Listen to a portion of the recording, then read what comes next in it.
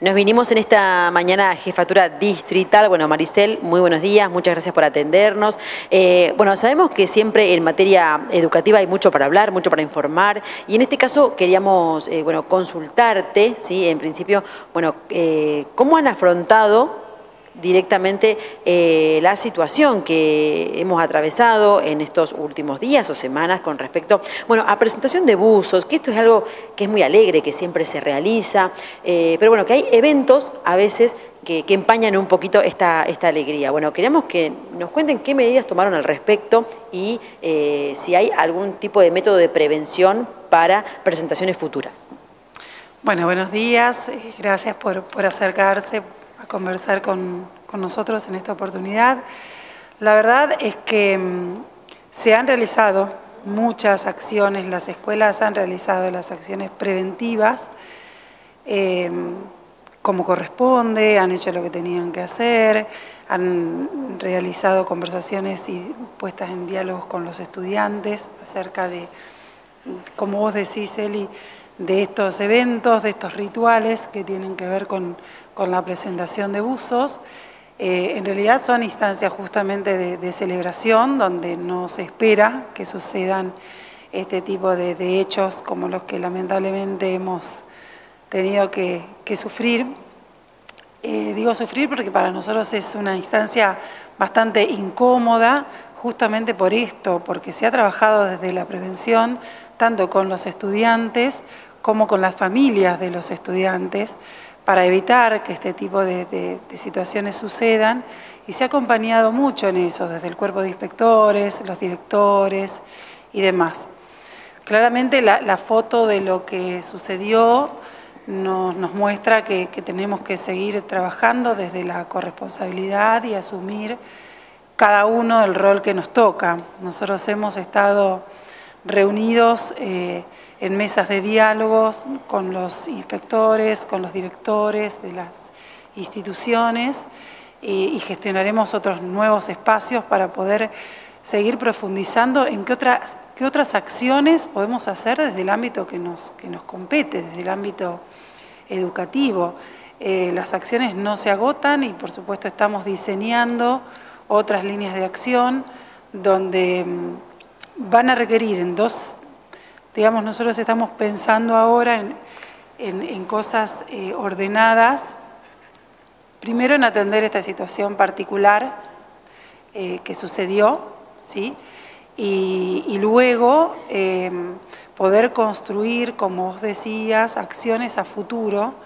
para evitar que vuelvan a repetirse eh, estas situaciones. Digo, me imagino que eso es bastante difícil, porque digo, ¿cómo se controla a la hora de, que salgan a festejar a la calle, eh, que no se golpeen, que no haya pintadas en las instituciones educativas, que también eso eh, lleva un costo económico eh, para, bueno, para todo, para, ¿no? para el marco educativo, que no está contemplado justamente. digo, ¿qué, pasa con eso? ¿Cómo, se aborda desde ese punto? Justamente por eso nosotros estamos generando estos encuentros y estamos conversando, porque lo que en un momento creemos que institucionalmente está abordado, porque la verdad que dentro de las escuelas eso está abordado y dentro de las escuelas lo que eh, todo el tiempo promulgamos es a la construcción de la ciudadanía, ¿no? a repensar este tipo de situaciones, pero no dejan de ser nuestros estudiantes quienes están en un espacio público realizando disturbios, atentando contra eh, instituciones públicas también, lo cual nos preocupa enormemente y tenemos que pensar eh, otras cosas también. Entiendo eh, el grado de corresponsabilidad que corresponde a cada uno, ¿no? Pero también creemos que, que esto nos impacta directamente, por eso pensamos en otras cuestiones para seguir profundizando, digamos, ¿qué pasa? ¿Qué les pasa a nuestros jóvenes o a algunos de nuestros jóvenes, por supuesto, algunos de nuestros estudiantes, que de repente eh, tienen este modo de, accionar o de reaccionar, ¿no? También eh, yo repito incansablemente que no es lo que representa a los estudiantes del distrito en su totalidad, eh, que nos, así como esta situación nos, nos preocupa y nos entristece, también tenemos otro montón de situaciones en las que valoramos las acciones que hacen los estudiantes del distrito. El día 25 de abril estuve acompañando a todas las escuelas a un encuentro de rondas estudiantiles bonaerenses que se desarrolló en el distrito de Carmen de Areco, donde tuvimos la representación de cada una de las escuelas secundarias de Salto, y la verdad que fue maravilloso y chicos eh, construyendo una cosa interesante, con un aporte muy interesante para la sociedad. Entonces, eh, sí digo que tenemos que trabajar porque los estudiantes son todos nuestros, pero digo que no es lo que nos representa o lo que representa a todos los estudiantes. Perdón, ¿podríamos decir que es una minoría? Sí, por supuesto, sí, por supuesto. Es una minoría que no dejan de ser nuestros estudiantes y de todos modos nos, hacemos cargo de ellos y pensamos qué otras cosas podemos hacer, pero también son los jóvenes del distrito los que si los convocamos para realizar una acción solidaria o una pintada de una escuela o lo que fuera, los vamos a tener a disposición para poder hacerlo. Entonces, eh, creo que tenemos que trabajar desde todo lo positivo que tenemos para el trabajo con los jóvenes y con los estudiantes y también para trabajar con estas dificultades que se presentan para poder ayudarlos y para poder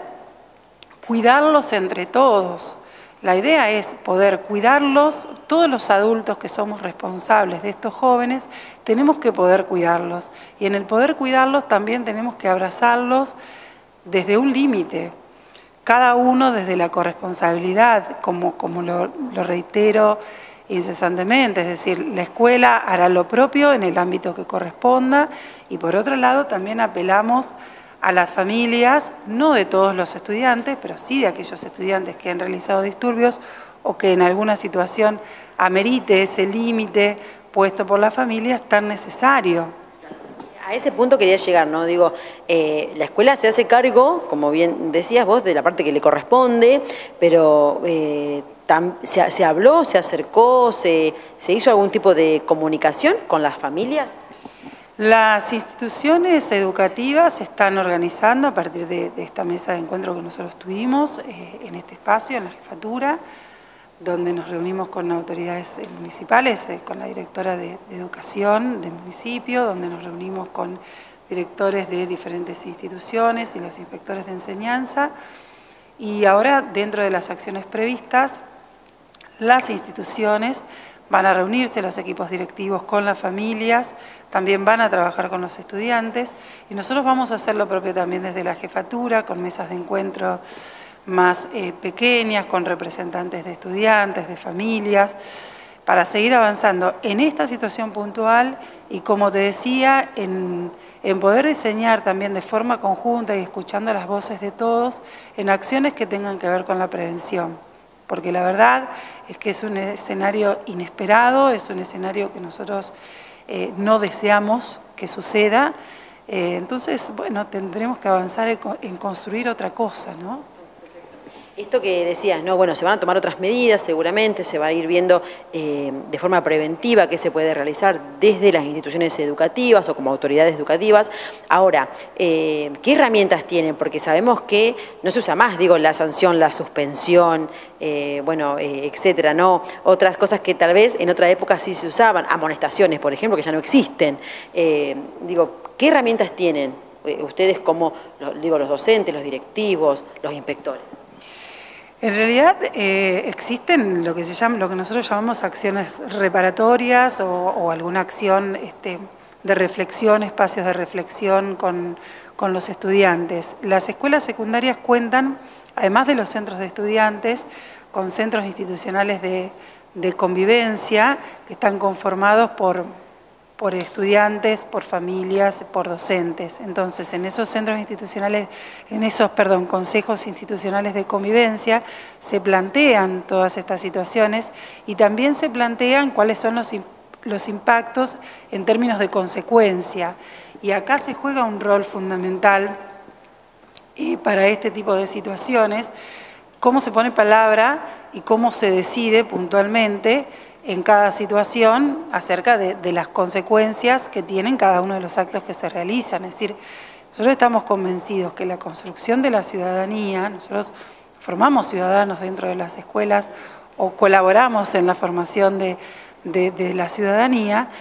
también es necesario poder entender y poder transmitir que cada acción tiene su consecuencia, ¿no? Digamos, entonces, esto es una cosa a construir al interior de cada una de las instituciones, eh, con la palabra como mediadora para, para acordar qué, cuestión se definirá en cada una de las instituciones. Hablando de instituciones, eh, ¿hubo algún diálogo, por ejemplo, con el Colegio San José, que hubo, fue o no, fueron uno de los involucrados? Sí, sí, nos reunimos ambas gestiones en jefatura con, las, dos, las dos instituciones que en esta situación, digamos, fueron los, disturbios que se generaron, porque también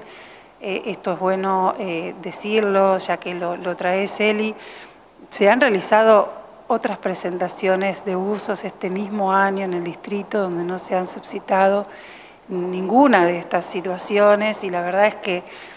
el deseo es que todas las instituciones eh, y los estudiantes puedan comprender y, que esto es un motivo de, celebración y de alegría, que no podemos estar lamentando situaciones como estas, donde además eh, es doloroso ver a estudiantes realizando estas acciones o, violentándose, por el contrario, no queremos que eso suceda para nuestros estudiantes y para nuestra comunidad.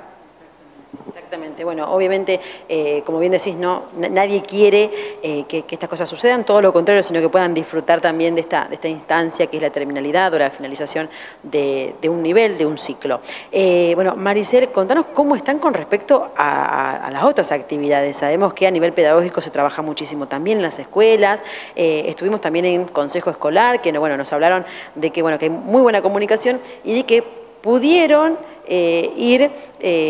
tapando cada situación que se les presentaba, como calefacción, edilicio, electricidad, etc. Sí, la verdad es que sí, la vinculación con el Consejo Escolar y con el municipio es, es excelente, entonces podemos ir abordando cada una de las problemáticas que se plantean de manera inmediata y, óptima, con, por supuesto con los recursos que contamos o no, pero se ha podido ir dando respuesta y también como comentaba en la nota anterior que tuvimos, estamos realizando muchas eh, propuestas que tienen que ver con índole pedagógico en articulación con el municipio y con el consejo escolar. Algo nos hablaban sobre la alimentación, ¿no? que también están trabajando para poder eh, bueno, llevar una alimentación adecuada, por ejemplo, a aquellos que sean celíacos o que tengan algún otro tipo de situación que amerite otro tipo de alimento. Sí, en realidad eh, ese es un proyecto eh, que se creó, es un proyecto que empezó a formarse a partir de la inquietud de una familia. Una mamá se acercó un día a la jefatura diciendo algo que, por supuesto que cada familia que se acerca merece ser escuchada. Eh, nos movilizó y enseguida bueno, nos pusimos en contacto con la Dirección de Políticas Sanitarias, con el Consejo Escolar, con el cuerpo de, inspectores y se generó un proyecto distrital bien interesante que aloja, por supuesto, eh, se llama, es una propuesta distrital que se llama Cuidados Integrales, donde habla y se fundamenta en una alimentación inclusiva y respetuosa, que no es exclusivamente para aquellos estudiantes que tienen un diagnóstico, pero por supuesto que los incluye y los aloja, eh, sino eh, trasciende a pensar en una alimentación que sea cuidada, cada vez más cuidadosa y respetuosa para todos. Esto tiene un impacto en todo. Nosotros proponemos eh, que las escuelas diseñen propuestas de enseñanza relacionadas con esto, eh, proponemos un trabajo bien articulado también con el Consejo Escolar y de manera articulada con las nutricionistas que forman parte de la Dirección de, Políticas Sanitarias, donde también se cuide, de acuerdo a, los diferentes menúes que, proporciona el Consejo Escolar, eh, la alimentación. Si bien se hace a nivel provincial, porque todos los, eh, digamos, todas las, las comidas están organizadas por nutricionistas a nivel provincial, nosotros le damos también ¿no? una vuelta más a lo que tiene que ver en el distrito y pensamos eh, en la diversidad, en, el cuidado que, debe requerirse y también exclusivamente ¿sí? en estudiantes que tienen algún, alguna dificultad con su alimentación, celíacos, diabéticos o, también estudiantes, no sé, de repente con una dieta hiposódica, cómo podemos hacer para adaptar el menú proporcionado por el Consejo Escolar para que esos días esos estudiantes no coman una cosa diferente, sino que puedan comer lo que están comiendo todos los demás con los ingredientes que son aptos para cada una de, sus, de, las enfermedades que transitan importante, la verdad muy interesante el proyecto. Eh, hoy como jefa distrital o jefe distrital, eh, ¿estás conforme entonces con cómo se está trabajando hasta ahora y bueno, de los resultados que han obtenido hasta ahora en cada institución educativa? La verdad que estoy muy conforme, creo que mm, desde el inicio eh, de, haber asumido este, este rol, Siempre me pensé en el trabajo con otros y creo que es así y creo que nos necesitamos. Y en esa necesidad y en ese trabajo con otros, hasta el momento he tenido excelentes respuestas de quienes han sido convocados a, participar en diferentes propuestas, eh, desde todos, desde, todos los actores, y es por eso que, que todo va funcionando, no quiere decir que no tengamos problemas, eh, los reconocemos y los afrontamos, algunos nos sorprenden y son inesperados como el que comentábamos y, fue el inicio de, esta nota, pero sí hay un gran equipo muy comprometido para trabajar y dar respuesta a cada cosa que, que se presente. No, gracias a ustedes y a disposición.